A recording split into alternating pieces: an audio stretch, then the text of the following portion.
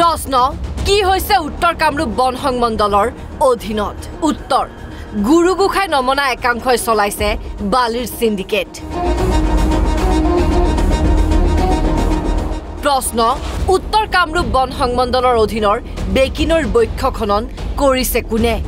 উত্তৰ D F O জনৈক Choudhury A C F Tridip চৌধুৰীৰ নেতৃত্বত একাংশই নৈৰ বুকুত খনন চলোৱাৰ অভিযোগ। বিগত সময়ছোৱাত উত্তৰ কামৰূপ বন সংমণ্ডলৰ অধীনত অবাধ হাৰত চলিছে বালিৰ চিণ্ডিকেট বালি মাফিয়াৰে ডি এফ অ' জনৈক চৌধুৰীৰ গোপন বুজাবুজিৰ অভিযোগ উত্থাপন হৈ আহিছে। এ চি এফ ত্ৰিদীপ চৌধুৰীৰ নামতো লাখ লাখ টকা সংগ্ৰহ কৰাৰ অভিযোগ উত্থাপন হৈ আহিছে।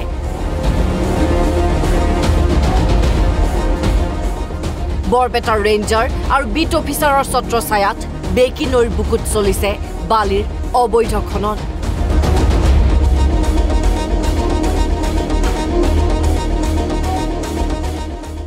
বান্দৰ খোৱাৰ পৰা দৈনিক শ শ ডাম্পাৰেৰে লৈ গৈছে বেকী নৈৰ বালি।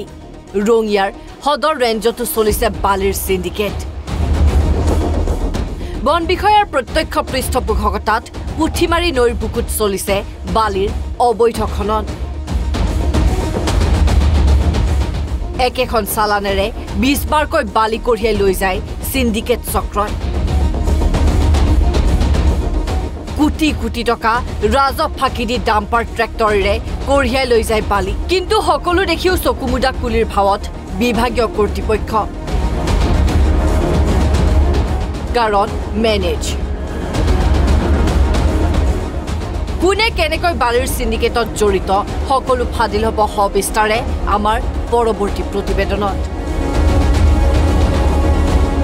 Bureau' report Asom live twenty four